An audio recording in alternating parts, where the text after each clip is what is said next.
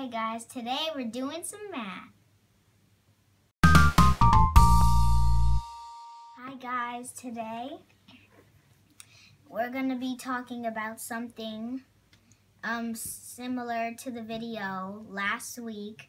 If you haven't watched our commutative property video last week, then you can um, watch it up there. Um, today we're going to be talking about associative property when you can group addends in different ways and still get the same sum. It works in addition and multiplication, just like commutative property. 2 plus 4 plus 3 is our equation. It's, it's pretty easy. So we're going to group the 2 and the 4, and the 3 is separate. 2 plus 4 equals 6, plus the 3 equals 9.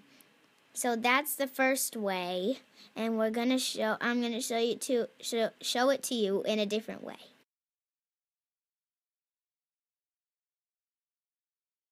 So we're grouping the four and the three this time, and the two is separate. The four and the three equals seven, plus the two separately equals nine, and that's the other way. And see how it works for both. 15 plus 27 plus 30 is our next equation.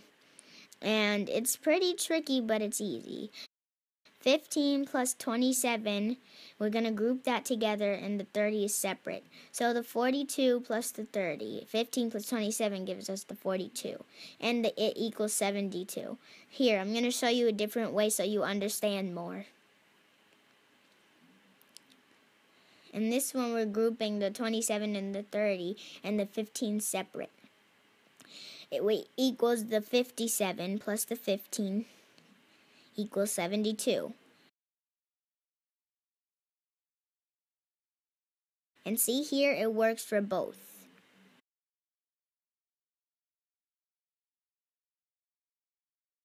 Let's do multiplication now. So 2 and the 3 are grouped and the 4 separate. 2 times 3 is 6, and 4 is separate still. 6 times 4 is 24. I'll show you another way. 3 and the 4 are grouped. Times. And times the 2, which is separate, and the 2 times 12 equals 24. It's the same answer in both. I hope you learned a lot about associative property and how it works. Um, and leave some comments below. Well, if you want, you can leave as many as you want. And see you in the next video. Bye. Like, comment, and subscribe.